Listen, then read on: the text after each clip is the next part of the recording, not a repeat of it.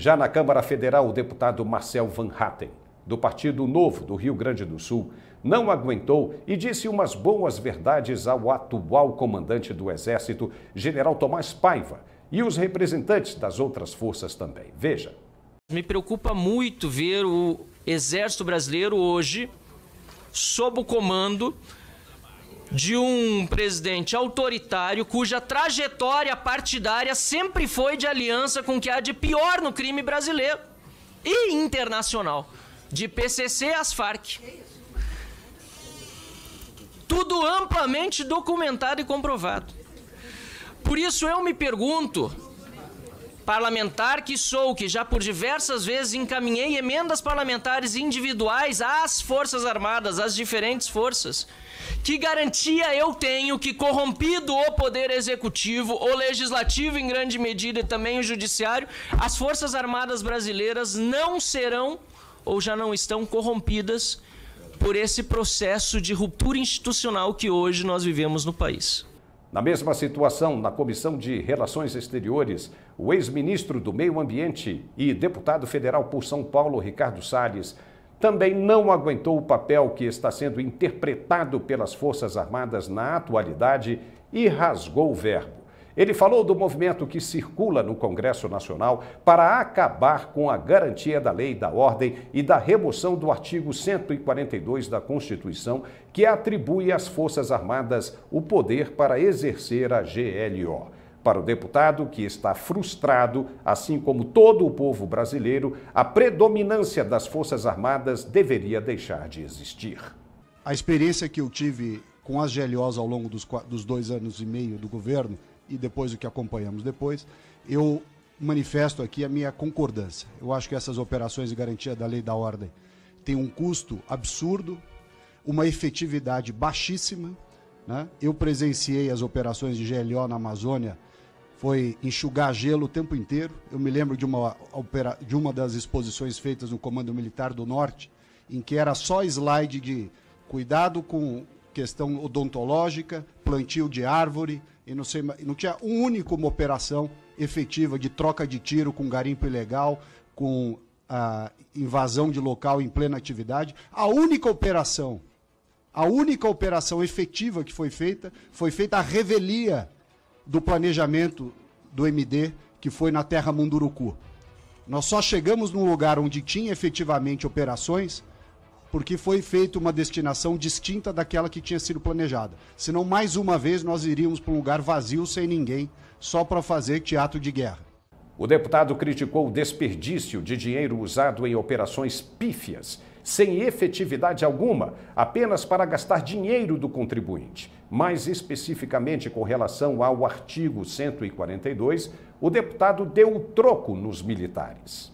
Tanto se falou na história de papel moderador, atuação, etc. Não tem papel moderador nenhum, não foi usado e não deve ser usado. Realmente melhor remover o artigo 142. Aliás, com relação a GLOs, lembro aqui que quem desempenhou um papel muito importante lá foi a Força Nacional junto com a Polícia Federal, o IBAMA e o CMBio. Essas operações, sim, tiveram muita efetividade em solo, mas só quando a Força Nacional entrou nas operações.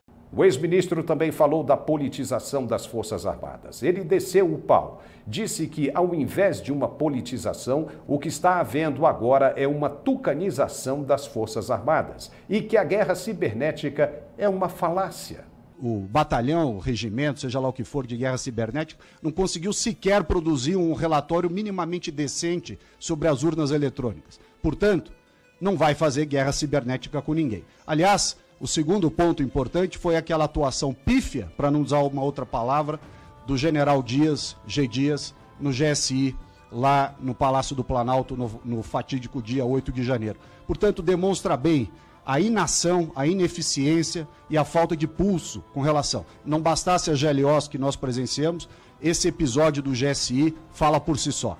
O ministro estava mesmo indignado e, por fim, questionou a necessidade do orçamento para as Forças Armadas, que não servem para nada, que estão gastando dinheiro do contribuinte para bancar uma força que não tem serventia alguma.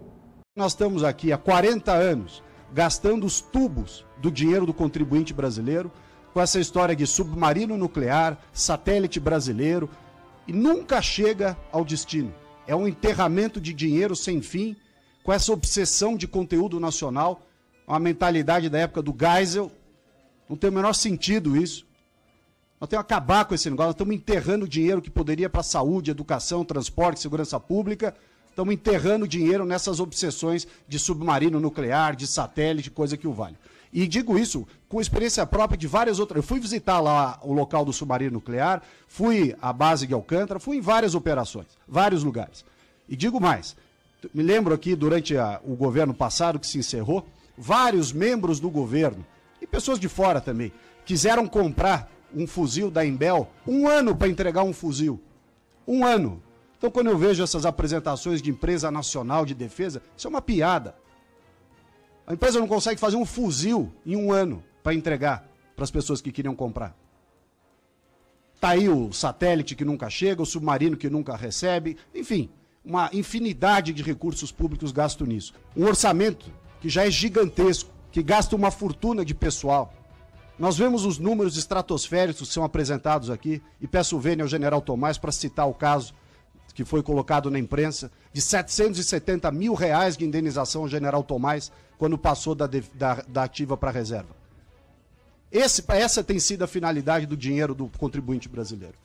As operações de abate de aeronave, de tráfico de drogas, de combate ao tráfico de drogas nos rios da Amazônia, de fronteira com Bolívia, com Colômbia, com tudo isso, zero de efetividade. Zero.